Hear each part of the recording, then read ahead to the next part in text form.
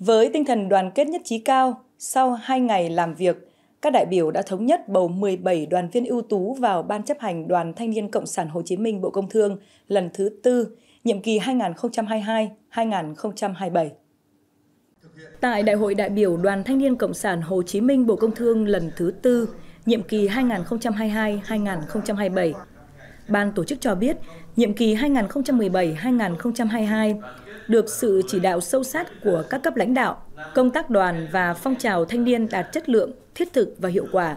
Từ năm 2017 đến nay, nhiều hoạt động đoàn đã gắn sát với nhiệm vụ chính trị và chuyên môn, chủ trì phối hợp với các đơn vị triển khai xây dựng 19 công trình thanh niên, hơn 50 đợt tình nguyện với các hoạt động khám bệnh, cấp phát thuốc, tặng bộ dụng cụ y tế, thăm, tặng quà các gia đình chính sách, gia đình có công với cách mạng, trao tặng quà cho các em thiếu nhi dân tộc thiểu số vùng sâu, vùng xa có hoàn cảnh khó khăn, học bổng cho học sinh nghèo vượt khó.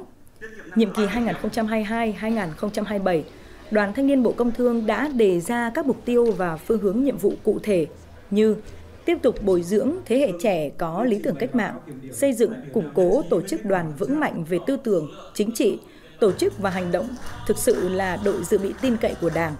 phát huy mạnh mẽ vai trò tiên phong, sung kích, sáng tạo của thanh niên trong xây dựng và bảo vệ Tổ quốc, đặc biệt là trong hội nhập quốc tế, chuyển đổi số quốc gia,